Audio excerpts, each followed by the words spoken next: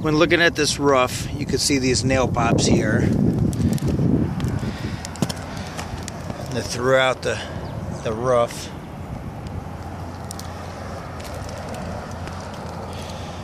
I have one here. As you can see, I can't walk really more than a couple feet.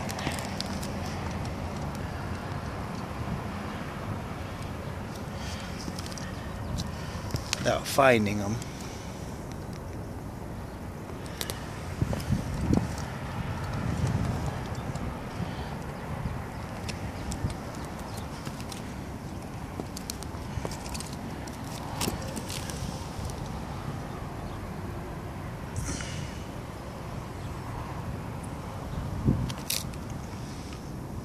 These shingles here weren't installed on the lines. This soil stack here is supposed to be flashed with the shingle coming over top of this here. Just like this one here, incorrectly flashed. And a vent in the middle of the roof. These vents are made to be two foot from the top. And as you can see, this is quite a few uh, feet down from the ridge line. It's probably venting a kitchen or a bathroom vent, and the roofer should have installed a damper vent. Now here's incorrect ventilation system. You have a power fan that's also incorrectly installed. That shingles should be coming all the way over the flashing to the bottom and not just in the back. But you should not have a power fan plus a ridge vent on your roof. This makes it to where when the power fan kicks on, actually draws air from the ridge vent instead of drawing it from the bottom at the edge, your intake vents. The chimney on this house, it's just a wood-sided chimney, but this counter flashing should be behind the wood and not in front of it. As you can see, they did a pretty bad job at the top of this. They used drip edge instead of a trim metal.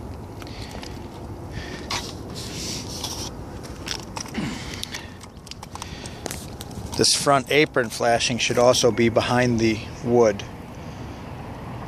Now in this particular home, he had an ice dam in this area here. As you can see, it's only about a foot and a half gutter.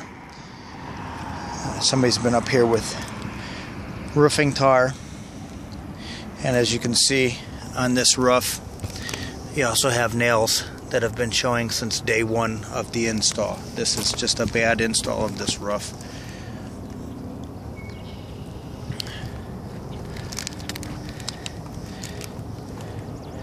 Here. And you could also see that uh, they couldn't cut this straight.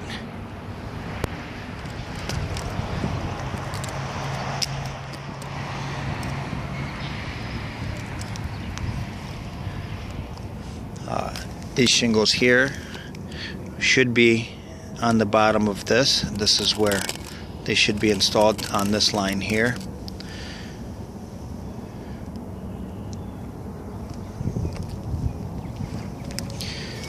You see shingles are cracking in different areas and splitting.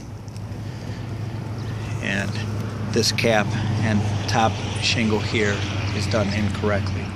Now if you look at the ridge vent, it doesn't have an outside baffle, so air and water can be blown into this exhaust. Especially when that power fan kicks on, and if it's raining, it will draw that water right into that ridge vent. And if you look at this valley here, it's just poorly done.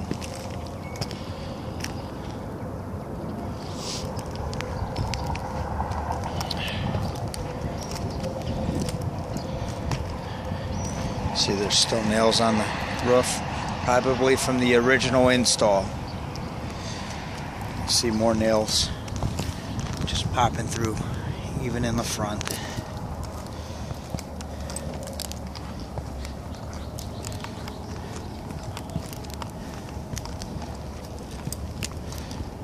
Here's another one here.